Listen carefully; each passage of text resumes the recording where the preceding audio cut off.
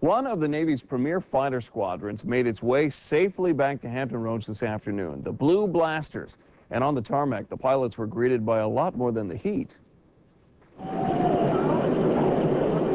Jets in formation are often seen in the skies above NAS Oceana. But to this small army of family members decked out in special welcome home t-shirts, these incoming fighters are a beautiful sight. Albeit a loud one. Are you excited to see Uncle Mitch?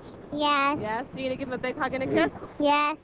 Friends and loved ones of Lieutenant Mitchell Koch traveled from Atlanta, North Carolina, and even Boston to welcome home the Blue Blasters of Strike Fighter Squadron 34. The pilots just completed a five-month deployment to the Western Pacific aboard the aircraft carrier USS Abraham Lincoln. Decked out in Mitchapalooza World Tour t-shirts, this family wasn't about to let the lieutenant's arrival go unnoticed. I love it. It's uh, it's great. I w- no one was uh, here last time I got in, so I gave them a big guilt trip and uh, tell them that they all had to come in and see me for uh, for this cruise. Hey. That's too big for you? The Blue Blasters participated in three major exercises and completed more than 1,200 sorties, a dizzying pace. But after getting caught up with family gossip, this lieutenant is keeping his schedule open. Time off. Worked straight for the last five months and uh, just looking forward to some time off.